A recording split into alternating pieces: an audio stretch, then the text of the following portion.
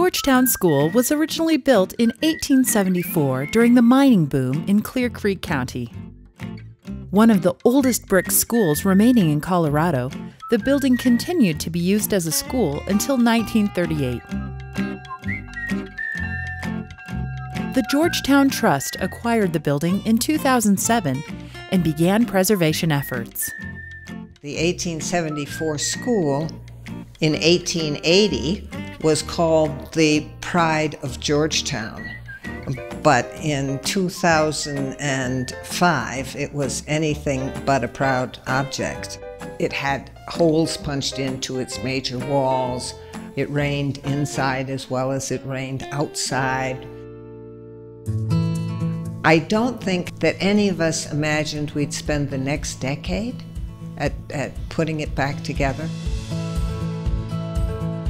the entrance actually became very important to us that when you come through the doors, the front doors, you have the instant sense of being in a school.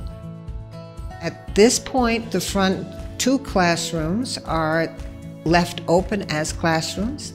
They are used by our cultural arts program when there are exhibits. The third classroom downstairs is more regularly used as a meeting area and the, remaining classroom has been turned into a very special, we think, conference room. And in that conference room, we also celebrate the history of the school. The wainscot was painted in this brown and gold um, in its historic time and is an original feature to the room. We have the ghost marks of the desks in, in all of our rooms because it became very important to us to retain that part of the story of, of the school. And if you walk upstairs, the room that's used most frequently up there now is the old assembly room. We brought it hopefully into this century. It's been very happily used up there for concerts and for lectures.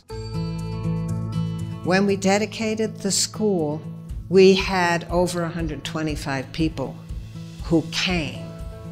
And just the feeling of them coming into this space was, was complete magic. The greatest reward has been restoring the place that was referred to as the pride of Georgetown to once again be that proud place.